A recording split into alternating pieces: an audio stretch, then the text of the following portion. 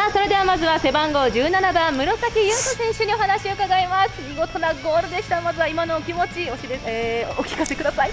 えーまあ、個人として、えー、スタメンが2試合ぶり、まあ、ベンチでも2試合入ってなかったんですけど、はい、まあ結果っていうところには、まあ、出た時にはこだわっているのでしっかり点が取れてよかったです。いい流れでのシュートだったと思うんですがあのゴールシーンを振り返っていかがでしょうか？そうですね、まあ、前半ちょっと嫌な押され押され気味な展開で終わってしまって、まあ、後半自分たちのペースでやっていこうっていう中で、まあ、早い時間帯で、まあ、いいいい形で点取れたので、まあ、少しこっちがペース握ることができたかなと思います。それで改めて次節への意気込みとファンサポーターへのメッセージお願いします。はい、えーまあ、一応今、首位っていう形ですけども、まあ、1試合1試合気抜けない戦いがこれからも続くと思うので、まあ、引き続き応援よろしくお願いします背番号17番室崎選手でした。ありがとうございました。ありがとうございます。それでは続きまして、えー、見事なミドルシュートを決めてくださいました。背番号6番小松達樹選手です。まずはお疲れ様でした。お疲れ様です。いやもう蹴った瞬間に決まるなってぐらいも美しいゴールあのシュートだったと思うんですけれどもあのゴールシーン振り返っていかがでしたか？そうですね。まああのー、最近はちょっと練習してはなかったですけどあのこのこの前までしっかりあの練習してたので、まあ、やっと練習の成果が出たなっていうあの一発だったのでまあ偶然とならないようにあのしっかりこれからも決めれるように、えー、頑張っていきたいなと思います。試合全体を振り返ってもシーソーゲームの時間も苦しい時間もあったと思うんですけれどもご自身としてはどんな気持ちで試合を臨みましたか？そうですね、まあ、6得点はできましたけど、はい、まあ、前半と後半のフリーキックの2失点はちょっとあの反省すべきことなので、まあ、満足せずしっかりあの明日からの練習からまた改善して、まあ、しっかりあのゼロで抑えてしっかりあの得点もまた取れるように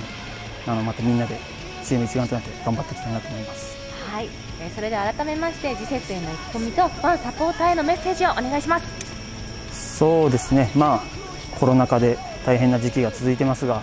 あの画面越しにあの皆さんに勝利をプレゼントできるように、えー、これからも頑張っていきます、えー、応援よろしくお願いします。小橋選手でした。ありがとうございました。ありがとうございました。さあそれでは続いて背番号18番田中輝樹選手です。見事な2得点でした。ゴールシーン振り返っていかがですか？ありがとうございます。いやよかった。はい、えー、ようやく、はい、ようやくですね。今シーズン初得点ですよね、はい、初めてですでもなあまりにゴールした後の何でしょうこうクールな感じだったから全然喜んでないから どうだったんだろうってなってたんですけど。いやそうそうまあ点差もね、はい、点差だったんで個人的には嬉しかったんですけど、うん、まああそこでもっと喜び爆発できるぐらいのね人になりたいですね。で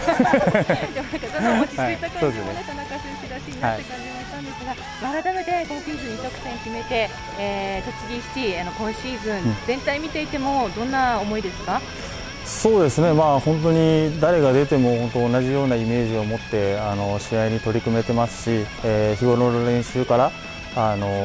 本当にポジション争いっていうのはすごい激しくなってきてあの本当にいいチーム状態で今戦えてるなっていうのは思います。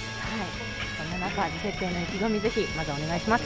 はい、えー、ずっと今ね連勝しててこのまま、えー、関東の王者になって、えー、まあ最終的な僕たちの目標はあの去年も果たせなかった JL 昇格なので、えー、そこに向けてチーム全員で頑張っていきたいと思います。えそして選手会長としても各 SNS で日々、日頃からこう発信頑張っていただいているので、ぜひあのファンサポーターへそこも含めてメッセージお願いします。はい、えー、あの本当に選手のあの普段見えない部分とか、えー、そういったところをあの今コロナ禍で、えー、大変な中ですけど、えー、まあ練習にもあのファンの皆さん来たいと思うんですけどなかなかえ来れない時期が続いていると思うのでできるだけそういった普段見えない部分っていうのを SNS を通してあの皆さんに届けていきたいと思うんで、えー、どんどん見て楽しんでください。はい、番号18番田中輝樹選手でした。ありがとうございました。ありがとうございます。はい、ありがとうございました。もっと喋りますか？あ、もう全然。久しぶりだからだって。天気見ないと会えないから。それでは最後に中村敦監督にお話を伺います今シーズン最多得点となりました試合振り返っていかがですか？まああの選手たちも言ってると思うんですけどまあ、2-2のところまでは、まあ、どっちに転ぶかわからないゲームだったので、まあ、こっちの悪いところも出たし、まあ、いいところも出たしって感じで、まあまあ、だけど、その後しっかりね、あのー、3点目取ってからちょっとエンジンかかってきて、まあ、6点、まあ、6点もあの展開で入るとは思わなかったんですけど、まあ、非常に結果としてはすごく良かったです。はい。中村監督も終始声かけをしている印象があったんですけれどもあの後半、どんな声かけを意識されていたんですか？後半ですか、はい、うん。まああの前半の反省に立って、まあ、しっかりと切り替えのところだとかあと特にコンパクトにしようと。ちょっと前半相手のペースに握られた時間延びしてたので、まあ、そこは結構言ってましたね。はい。それが実を結んで6得点となりました、えー、それで改めて次節への意気込みもお願いします。はい。えっと次の試合もえっとしっかりと勝ち切ってで勝ち点3をもう淡々と積み上げていく、まあ、その作業なのでしっかりとあのいい準備して勝ちたいと思います。はい。では最後にファンサポーターの皆さんにメッセージをお願いします。今のじゃなかった。ごめんなさい、はい、えーと、次も頑張って勝ちますんで、あの